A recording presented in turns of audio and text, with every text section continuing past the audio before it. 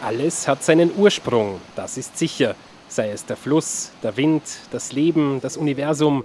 Nur bei so manchem weiß man nicht so recht, wo dieser Ursprung liegt, außer man kennt Pischelsdorf. Gut, der Ursprung des Universums liegt sicher nicht in dieser Gemeinde, aber es ist etwas aus Pischelsdorf hervorgegangen, das heute die ganze Region prägt. Die Pfarre war die erste Pfarre dieser Gegend, eine sogenannte Urpfarre. Und aus dieser Urpfarre sind äh, in der Folge 16 heutige Pfarren hervorgegangen, darunter äh, Pfarren wie Lengau, wie Mattighofen, wie Maria Schmollen, wie Burgkirchen. Damals hatte Bischelsdorf einen sehr großen Stellenwert und eine große Bedeutung für die ganze Region. Pischelsdorf war früher übrigens im Besitz eines Bischofes und nannte sich daher auch Bischofsdorf. Und so lässt sich auch erklären, warum das Dorf des Bischofs 16 Pfarren hervorbringen konnte. Und auch in der heutigen Zeit bringt Pischelsdorf noch Außergewöhnliches hervor, beispielsweise einen der schönsten Golfplätze von ganz Österreich. Das ist zumindest das Urteil eines renommierten Golfmagazins. Hier spielt aber nicht etwa die Schikaria, sondern ganz normale golfbegeisterte Menschen. Denn solche Sportler haben den Golfplatz schließlich auch geschaffen. Im Grunde ist zu Beginn eine gute Idee, eine tolle Idee einiger weniger begeisterter Golfer gewesen, die sich auf diesem wunderschönen Fleck Erde vorgestellt haben, einen Golfplatz zu bauen. Dass es natürlich äh, schlussendlich zu einem so großen Erfolg wurde, ist für jeden hier, der jetzt auf diesem Platz spielt, eine mehr als große Überraschung. Rund 1650 Menschen leben heute in der knapp 33 Quadratkilometer großen Gemeinde. Und da gibt es einen Punkt, dem man jüngst ganz besonders viel Aufmerksamkeit und Arbeit gewidmet hat, dem Dorfplatz. Dieser wurde 2009 neu gestaltet. Der neue Ortsplatz ist für Bischofs sicher sehr wichtig. Er ist doch ein bisschen großflächiger geworden durch die Möglichkeit, dass wir dazu Grundstücke gekriegt haben. Sehr wichtig ist, dass man den Platz so gestaltet, dass er irgendwie zur Zusammenkunft einladet.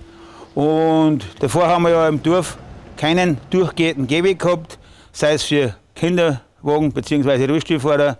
Derzeit ist möglich, doch auch mit einem Rollstuhl sagen wir, einen Dorfplatz, ohne dass man die Fahrbahn benutzt, durchzukommen. Wer sich auf den Weg zur Gemeinde Pischelsdorf macht, der kommt vielleicht auch an der Wallfahrtskirche Hart vorbei. Auf jeden Fall lohnt sich hier ein kleiner Abstecher, denn sie war einst die bedeutendste Wallfahrtskirche der Region. In ihr findet sich die älteste Orgel in ganz Oberösterreich. Selbstredend, dass dieses prachtvolle Instrument aus dem Jahr 1628 denkmalgeschützt ist. Aber gespielt werden darf und kann sie immer noch.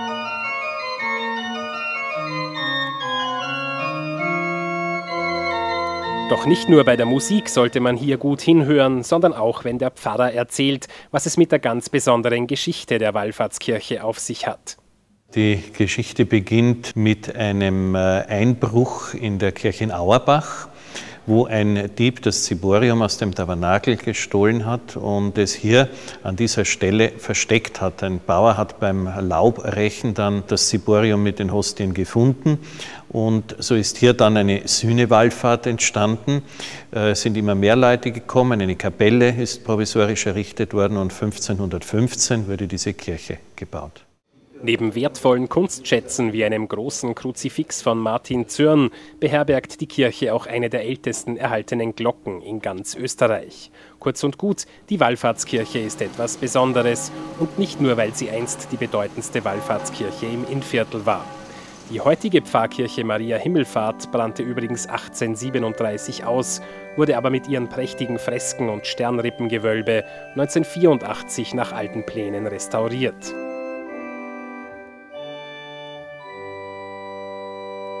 Obwohl Pischelsdorf heute eher eine Wohngemeinde ist, siedeln sich auch immer mehr Betriebe an, von der Baufirma über das Autohaus bis hin zum Dachdecker. Und so soll es auch weitergehen. Derzeit haben wir eben nur wenig Betriebe, aber wir wollen die Möglichkeit schaffen, in Zukunft da einiges zu erreichen. Immerhin ziehen auch immer mehr Menschen in die Gemeinde. Die Bevölkerung wächst also.